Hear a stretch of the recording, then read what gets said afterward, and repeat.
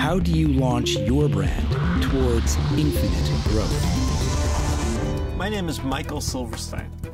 I'm the principal author of a new book. The book is called Rocket, and it's the story of 16 entrepreneurs and the creation of their brands. It has a number of lessons that I hope will grab you. Chapter 2 is about wooing your biggest fans.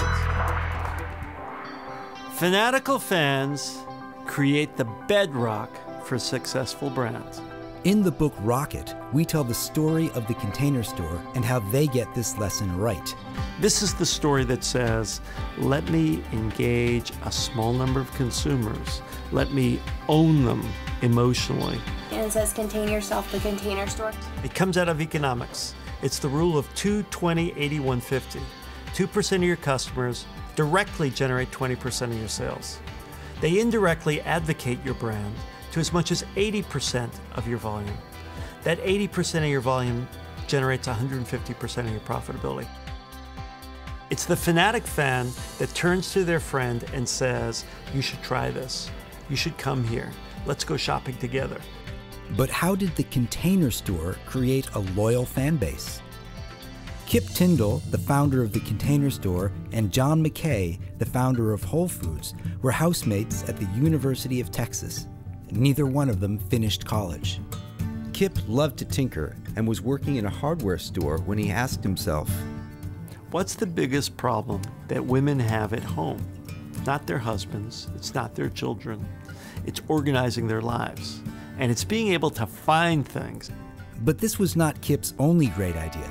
He realized that to capture the hearts and minds of loyal customers, he needed a great sales force on the selling floor. This particular charging station comes in five colors. One great employee is equal to the productivity or the value of three good employees.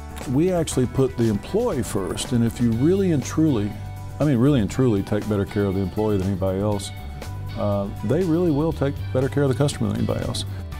Container store associates are treated with respect, given hundreds of hours of training, paid twice the wage of competitors, and turn over at a fraction of the average rate.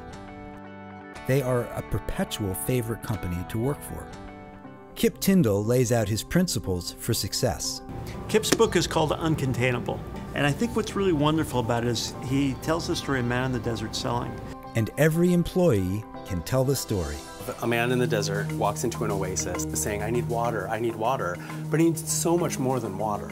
He needs some medical attention, he needs food. So getting him that drink of water wouldn't be getting him everything he needs. It's every part and piece, every single thing that's going to create a complete solution to make, um, to really enhance our customers' lives. So you really understand them. Yeah, absolutely. It's a store that allows you to find something at every moment that you're shopping. Make your dreams for your brand come true. Read Rocket Eight Lessons to Secure Infinite Growth. Curtis, thank you. It's my Fantastic. pleasure. Remember, woo your biggest fans. Next, lesson number three.